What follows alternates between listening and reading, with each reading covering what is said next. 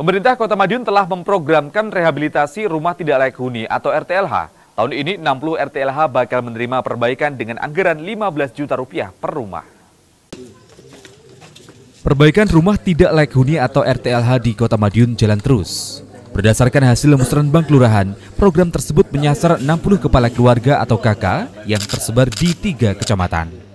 Wali Kota Madiun Maidi turut meninjau sejumlah RTLH yang bakal dilakukan perbaikan. Wali Kota menegaskan kawasan kumuh di wilayah Kota Madiun harus mendapatkan perhatian serius. RTLH terus diprogramkan agar warga dapat menempati hunian yang layak. Selain RTLH, Pemkot juga telah memprogramkan pavingisasi jalan di kawasan pemukiman padat penduduk.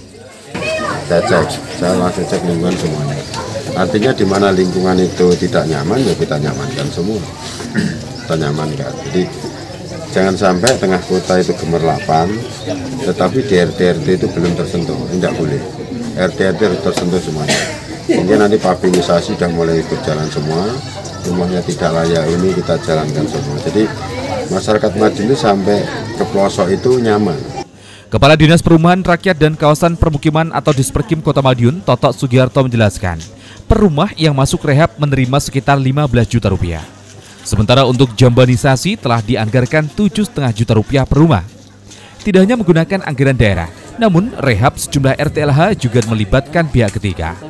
Tahun ini dari dinas per, ya, dari pemerintah Kota Madiun terkait rehab rumah tidak layak huni ada 60 60 rumah kemudian yang jamban rehab jamban ada 40 insya Allah minggu-minggu depan sudah bisa kita uh, realisasi karena proses pendataannya juga sangat panjang karena ini sebagai bansos insya Allah lancar nanti uh, target kita ya bisa segera dihuni Program perbaikan RTLH tahun ini dijadwalkan dimulai pada akhir Juni 2022 ini. Proses pengerjaan ditargetkan rampung antara 2 hingga 3 bulan. Kriswanto, CTV, Madiun.